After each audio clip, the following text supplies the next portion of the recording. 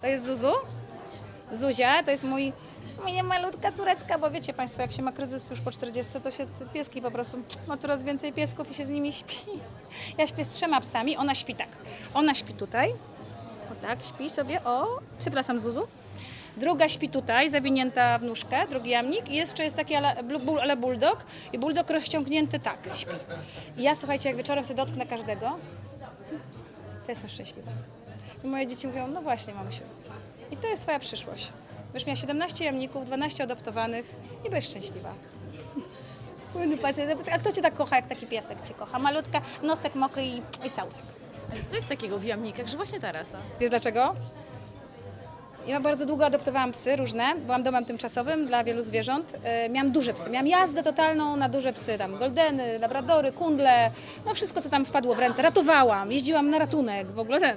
No i moje dzieci, które wyrastały w tym, że w domu było dużo psów, głównie adoptowanych, kiedyś moja córka powiedziała, mam, widziałam mi takiego malutkiego pieska, żeby go tak w łóżeczko przytulić. A jeszcze wtedy troszkę się pochorowała, więc ja mówię, malutkiego pieska, szybko malutkiego pieska. Ale mi się nie podobają malutkie pieski, nie? I sobie kojarzyłam, że taka Paris Hilton z takim pieskiem. Mówię, no nie, no, no, to nie mój wizerunek, nie? Intelektualistka. I słuchajcie, ten, przypomniałam sobie, że w dzieciństwie miałam jamnika, korka.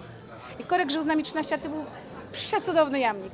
Akurat nie miał złamany ogon, nie miał jednej, jedno jajko w pachwinie, taki, takiego, co nikt nie chciał. I korek był tak inteligentny i po prostu był tak świetnym psem, że mówię, ja będę miała jamnika. No i wzięliśmy wtedy tego jamnika, mam tą drugą Bloom czarną.